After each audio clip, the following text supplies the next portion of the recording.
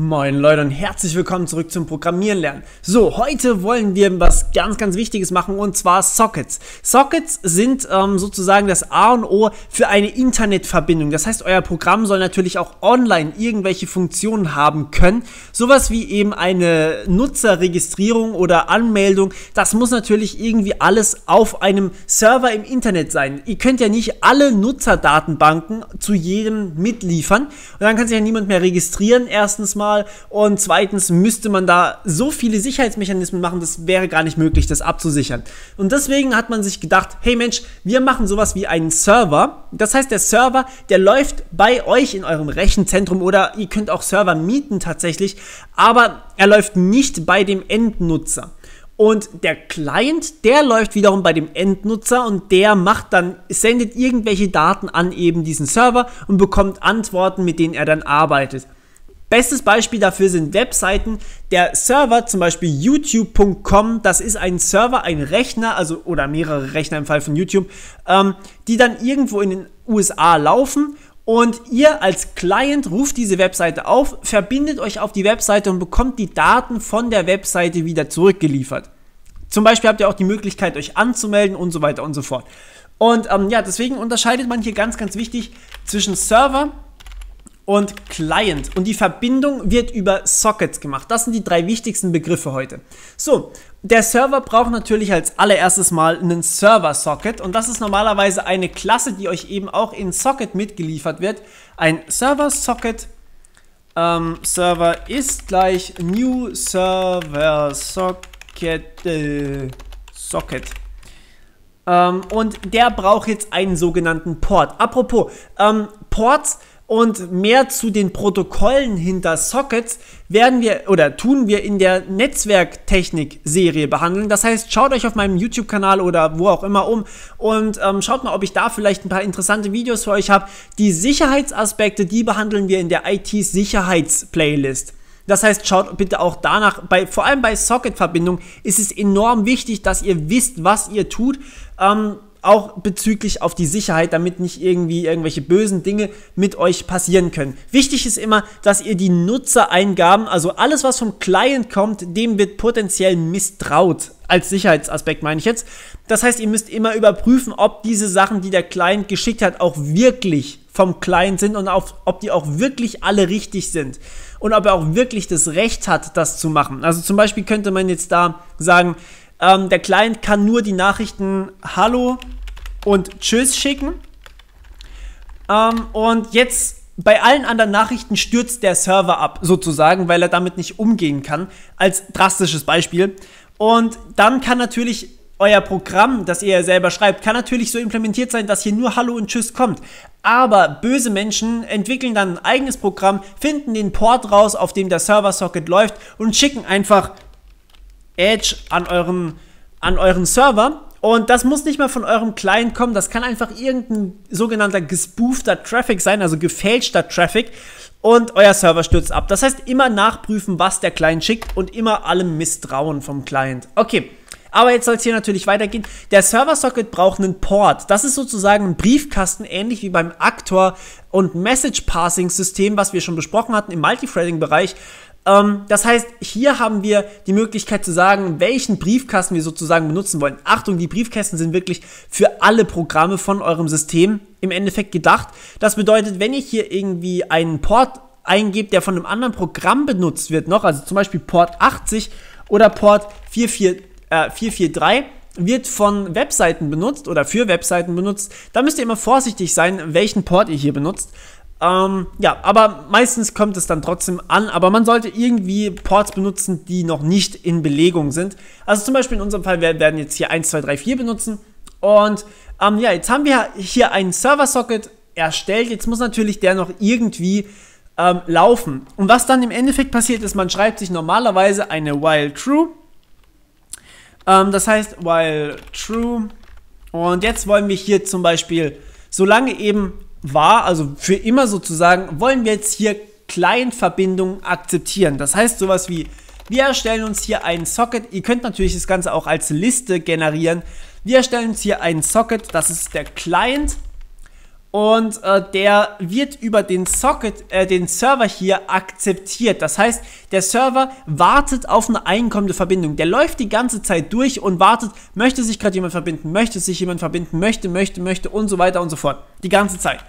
Das heißt Server.accept. Achtung, euer Programm läuft nicht weiter, während Server.accept wartet. Das heißt, wenn keine Client-Verbindung ähm, ankommt, das heißt, wenn sich einfach niemand auf euren Server verbinden möchte, dann wartet dieser Server-Socket so lange, bis wirklich einer kommt. Das heißt, alles andere bleibt liegen. Hier ist jetzt auch wieder Multithreading wichtig. Wenn ihr noch irgendwie mehrere Sockets hier nebenher behandeln wollt, dann müsst ihr das in einem neuen Thread laufen lassen. Also ihr müsst dann sozusagen für jede Socket-Verbindung hier einen neuen Thread erstellen. So, wundervoll. Jetzt können wir hier zum Beispiel dann irgendeine Funktion aufrufen für unseren Client. Das heißt, wir sagen hier äh, meine Funktion von äh, Client und ja, wobei wir machen jetzt hier eine Mini-Funktion rein, aber normalerweise würdet ihr das, wie gesagt, in eigene Threads auslagern und ihr würdet noch ähm, mehr damit machen natürlich. So, ähm, was wir jetzt hier machen wollen, achso, ganz am Ende, wenn wir fertig sind, ist auch noch wichtig, dass wir den Client-Socket wieder schließen damit die Verbindung geschlossen wird und eben kein irgendwie Speicherplatz für diese Clients hier verbraucht wird, denn ansonsten habt ihr irgendwann nicht mehr genug Speicher. Wenn ihr eine Milliarde Clients bedienen müsst, dann ist halt euer PC einfach mal irgendwann voll. Okay, so, ähm, wenn wir jetzt also hier dann äh, die Verbindung bekommen haben, das heißt Client ist tatsächlich verfügbar, dann können wir zum Beispiel einfach lesen, was unser Client schreibt. Das können wir machen mit Client. Ups, na, warum tippe ich denn wieder nicht? Client.receive. So, und jetzt können wir hier natürlich wie bei einer Datei, einer ganz normalen Datei auch angeben, wie viel wir empfangen wollen. Also wie viel Byte wollen wir hier empfangen. Im Normalfall würden wir einfach so lange empfangen, ähm, bis wir, wobei nein, ich glaube, man muss immer angeben, wie viel man empfangen möchte. Also sagen wir zum Beispiel einfach mal, wir wollen 1024 Byte haben. Und das heißt, wir warten einfach, bis diese 1024 Byte ankommen und können dann irgendwas mit denen machen. Und dann können wir zum Beispiel hierher gehen und sagen, wir wollen das vielleicht ausgeben. Ähm, was dann, ja, wir sagen einfach hier, wir wollen das Ganze ausgeben. Äh, print davon, ups, weil normalerweise, wie gesagt, haben wir ja hier einen String, der dann rauskommt. Achtung, das ist wirklich jetzt nur Pseudocode hier. In manchen Fällen ist es noch schwieriger. Man muss Exceptions fangen, man muss vielleicht auch mit Fehlern umgehen können, alles. Das ist sozusagen nur das Grundkonzept. Ähm, aber ja, so funktioniert es dann im Endeffekt. Okay, der Client wird jetzt hier nicht logischerweise als Server-Socket erstellt, denn der Server-Socket, der akzeptiert bloß einkommende Verbindung. Der Client möchte Verbindung aufbauen. Das heißt, er von sich aus verbindet sich auf einen Server. Also zum Beispiel hier ähm, neuer Socket äh, Client ist gleich New Socket, ups, Socket. Und ja, jetzt brauchen wir hier beim Client ein bisschen mehr. Wir brauchen nämlich zum Beispiel erstmal natürlich den Port wieder. Das wäre, muss derselbe Port sein. Achtung, wenn der Briefkasten der falsche ist, dann werft ihr es sozusagen beim Nachbarn ein und der kann damit nichts anfangen. Ähm, aber ganz, ganz wichtig ist auch trotzdem, dass wir hier den, ähm, den Socket irgendwie verbinden müssen. Der muss wissen, wo er hin möchte. Das heißt, er muss auch wissen, wie die IP-Adresse oder wie die Adresse generell von eurem Client ist. Ihr könnt im Prinzip wieder das Postbeispiel ranholen. Der Postbote muss wissen, wo er einen Brief einschmeißen muss. Und das ist sozusagen euer Internetverbindungspostbote, dieser Socket hier. Das heißt, hier muss man angeben, wo man hin möchte. Jetzt gibt es verschiedene Möglichkeiten. Local Host ist, wenn der Server bei euch lokal auf eurem Rechner gehostet wird. Das ist aber bei normalen Programmen eher recht selten der Fall. Normalerweise möchte man immer, dass man sich auf eine IP-Adresse verbindet. Jetzt geht es schon in Richtung wirklich Netzwerktechnik. Da würde ich euch dann wirklich bitten, wenn ihr mehr über IP-Adressen erfahren wollt, schaut euch diese Serie an. In meinem Fall kann man jetzt zum Beispiel sagen, ich möchte auf meinen Server verbinden. Ich habe auch eine Webseite 84.200.109.112. So, und das würde jetzt sozusagen auf, meine Web, auf meinen Webserver verbinden. Klar, den kann man auch anders erreichen mit the-morpheus.de. Aber das ist normalerweise nicht das, was hier gefragt wird. Normalerweise wird hier meistens, ähm, klar, man kann es auch anders machen. Es gibt Programme oder Programmiersprachen, die euch dann aus einer aus the-morpheus.de dann wieder diese Adresse rausholen, aber die Adresse kennt ihr normalerweise als Entwickler sowieso, deswegen ja, kann man sie auch einmal hier eingeben. Und dann der Port ist auch sehr, sehr wichtig, deswegen muss man hier auch den Port angeben. So, und jetzt weiß der Socket, auf was er sich verbinden muss. Das heißt, er weiß, wo er seine Daten hinschicken muss. Und jetzt können wir anfangen und Daten tatsächlich schicken. Das heißt, wir bauen uns hier ein äh, zum Beispiel Client.send und jetzt kann man hier sagen, was man senden möchte.